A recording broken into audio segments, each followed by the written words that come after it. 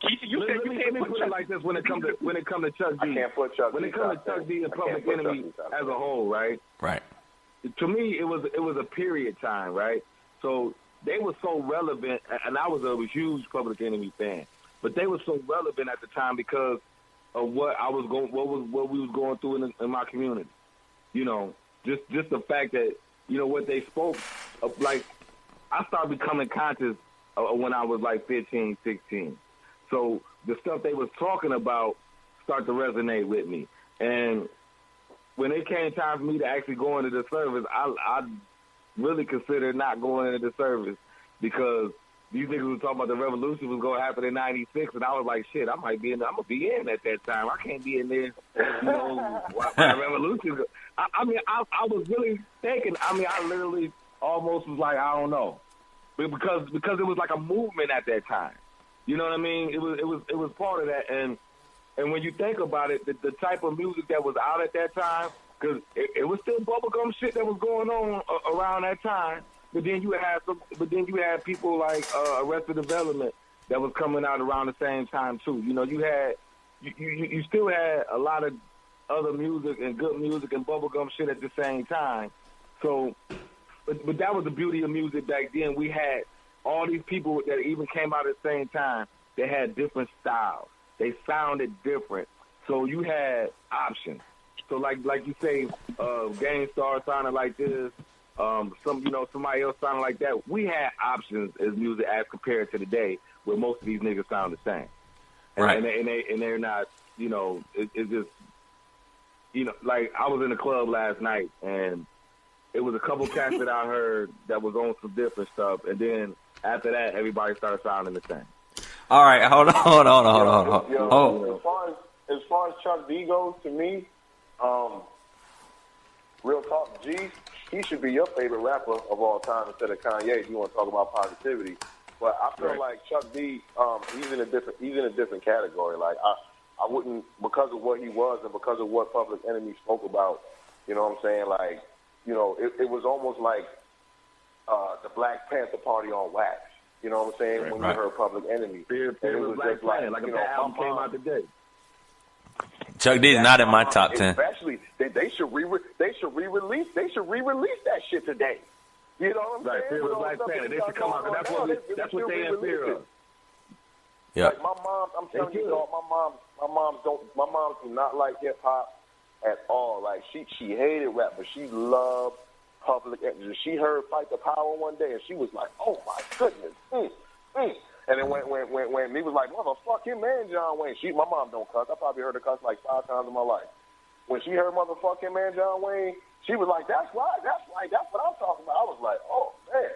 You know what I mean? Like Public Enemy was so iconic. Like to me, they just get they they get sit off to the side, and I, and I don't think it's fair to Chuck D to include them, you know, in this because then we're gonna bring lyrics into play. But I mean, Chuck D really was a lyricist, man. It's just about what he chose to talk about.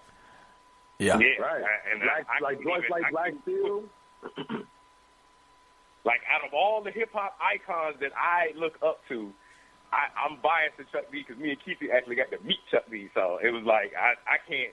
I, he's in a different category for me. I don't even want to put him in there. But just for the sake of the argument, we I can't put him in top ten because I don't consider Public Enemy a single per. I don't consider Chuck D a rapper by himself. Public Enemy was the group, so it's like and, and that's why and that's why I kind of said that too because and, and it wasn't like he was waiting on like it wasn't so much about Flav, but Chuck it, it wasn't Chuck D in itself. It was like Public Enemy as you know it. As an as- entity. It was like one entity. All right, as an entity. All right, next person. Uh, Redman. Wait, hold up, hold up, hold up, hold up, hold up. I want to say this: Chuck D really wasn't a rapper. Chuck D was a social activist who just so happened to know how to rap. Ah, good point. There. Exactly. 'Cause even if you listen, if you listen to his lyrics, they're not even on rhythm. Like sometimes the shit don't rhyme. It ain't like a flow. It's just him talking in the beat. Yeah. Right. Yeah, more like a poet, like a black poet style. So, Terminator yeah. X made him sound good. right. And Hank Shocklee. Right. Redman. And Hank. You see, you said Redman. Redman. Oh hell no. That's a sleep on. That's what I'm. Redman's probably one of my favorite rappers, but he's not in I'm the top biased. 10. I'm biased. I'm biased to Redman, but I, I can't I can't put him top ten, man. That hurt. I, I almost wish you didn't bring his name up because I hate to have to say no. You know what I'm saying? Yeah, I, much, Yeah. much as I, much as I, much as lyrically, lyrically as he is, he still ain't in my top ten. Right. Nah, shit. When I was we know- we know he got I- bars. I was- R- Say that last sentence. Hello. Yeah, say that last sentence. I said no. I said in '92 I was Red Man. So shit. You ain't that was when you ain't even combing your hair and shit, right? Where's the red man? Where's the red man?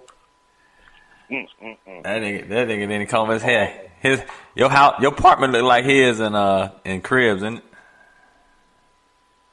Yep. Everything. He, he, he taught us how to roll a blunt. All right, all right. Uh, let's see. Next one, um, Eminem. Oh, Yeah. man. There was crickets Yeah. for a minute. No, I Yeah. was doing something else. But I- I- Eminem is probably in my Eminem is in my top five. But go ahead. Yeah, I got. Yeah, I got. I, I, I got to put him in there, man. Yeah. and, and, and, and he's Most not in the top five for for racial reasons. I refuse to put a white guy in the top five of hip hop. But, but the question was top I- ten, so he's in the I'm a- top I ten. got, I got, I got to give respect. He's in the The question was top ten, so he's in the top ten. The room, I give the room that. seems to agree to. I give him top ten. I say arguably top five, but I give him But, top ten but definitely. Emin- Eminem does have a big asterisk beside his name because I don't think if Eminem wasn't presented by Dr. Dre, he would have had the career that he had. It don't matter. Being presented Uh, by exactly. That's why there's a lot don't of other rap rappers said- that we don't on, fuck hold with. On, hold on, G. Hold on, G. Because you said earlier, if Biggie, if Biggie hadn't been with Puff and he was on Loud, then it wouldn't be like it is now. All right, but it just so happens that's the way it turns out. So what? It is what it is. You know, what I'm? I know. we, we can also Hey, make that's- the same argument. hey, that's just like saying hold on, 50 hold We can wouldn't be who he is without- We can also make the same argument. We can also make the same argument if Dr. Dre never had Eminem, he wouldn't have, um he would he wouldn't have sold Beats for a billion dollars. yeah, but it happened. You know what I'm That's- saying? I'm not. I'm not saying what happened with happened. I'm just saying it only happened because of Puff Daddy's influence in the hip hop community. That's all I'm saying. Just like Eminem. I'm just saying you can't have, you can't have it both ways, dog. It, it, it, it is what I it is, though. It is It what it happened. is. If Michael if Michael Jordan if Michael Jordan didn't get cut from varsity, would he would, would he turn out to be the uh, the greatest player of all time? We don't know that. You we don't, don't know that. We don't know the answer to that question because it didn't happen. all, all we know is he turned out to be the greatest player of all time. We do know. Exactly, and we know that, and we know that So- Dr. Dre so found know- Eminem, and he turned he turned out to be a top ten rapper of all time. That's it. That's all we know. All right. It's That's all just- I it's just like that. Dre gave him his gateway. He had a gateway to the black community once Dr. Dre was in Okay. the music video with them. No, no, no, no, no, no, no, no. He grew up with some of them cats from D12. Him and Proof knew each other from childhood. What you mean, dog? Right, What you right. mean? That was his These environment. niggas- That he was his knew them environment. niggas. He was a knew- product of he his environment. Exactly. He know them niggas, man. He used to get he used to get his ass whooped when he was a kid, you know, and then he ended up, you know, knowing them like later on, you know, as close like to high Right. school. He I'm just recruit some- he like, just recruit some niggas just yeah, because. man. Like exactly. Like come I'm- on, man. He used to rap with the Outsidaz. He put the used to niggas rap on with the Outsidaz from, from Brick City. I'm talking about presented as an artist. When he was presented as an artist, it was Dr. Dre presents Slim Shady. So you, as a hip hop fan and a person who was a fan can of say hip the hop same thing culture, about 50 yeah, Cent, though. White you out. We can say the same thing about 50 Cent, though, right? Hell, we Yep. can say the same thing about NWA. We can say No, we can definitely say the same thing about about 50 Cent. Because 50 Cent, but 50 had like two record contracts before he even got to Dre and had nobody heard of him. He was signed with Columbia and all these other people. Ain't nobody heard of him. It was and not until he got with Eminem and Dre is when he became 50. Yeah, but Em was the one Well, that found him. he was he was always fifty until the, until Dre and them did that song. So they did in the club. That that was what set fifty off. Right. That in the club. Yeah, Exactly. yeah. Yeah. So yeah, but that's not what we're talking about. We're not talking. about, I just use that as a reference to say why I don't But, put but, Eminem and in my but I'm bringing up other and I'm bringing up other references with it, where, where it's the same issue. So I'm saying you can't use that as a valid point to discredit the man. That's what I'm saying. I'm not all- him. but we all agree if you want to bring that right? one We up, I agree can, find, I 10. can find you 17. I could I could find you 17 more examples where the same thing exists. You know what I'm saying? Had Wu Tang never had the RZA, You can't- we, shit, you what was that? You know what I'm saying? So it's like, example It wouldn't be no You, Wu you Tang. cannot find another example of, a, of an artist who's been propelled to the top 10 by the iconicness of one person except for Snoop Dogg. And they were all drained, by the, by the way. Snoop Dogg, 50 Cent, Eminem. They're all people who've been propelled to hip-hop icon status, all by association with Dr. Dre. All that's I all I'm too. Because because he produced them, he brought out the best I of them do, as a producer. As a producer, he brought out the best of them and, and helped them. Dr. Dre's impeccable credentials helped give you a, a, a gateway to want to listen to this person and give them a fairer shake. Just the same way with Kendrick Lamar. If, if, I'm not saying they wouldn't have had success. I'm just saying it helped when Dr. Dre. If Dr. Dre come out and say, "Yo, this my new artist," you're gonna be like, "Well, damn, let me listen, let me check this shit out." Matter of fact, Dr. Dre so iconic. He been making an album for 20 years and he never put out, and niggas are still sitting around waiting on that shit to come up in, in iTunes. Waiting on Like, D-Side. damn, when is this- Yo, G? Yo, G, let me ask you this. Yo, G, let me ask you this. Will Rock will, will, Rakim be a top ten rapper all time without Eric B? Yeah, because all Eric B did was make the beats. He would have. Wow. Do you It's those beats that he made. No, okay. It's those beats that he made that brought out Rakim's rhyme. Remember the beats And, and that a lot of people say you that's know all what Dre did. All Dre did was make beats. Exactly. Exactly. Oh, oh, oh, I got, I got this one. I got this one. Cause G, cause G, G likes the first. G likes. Hold on. G likes the first album, and he don't credit Rakim's. He he gave him his first two albums. His third, fourth, fifth album, G's like, uh, he's like they pretty whack. So outside of him on the Juice soundtrack, right? That was Eric B. your argument is when he stopped with Eric B.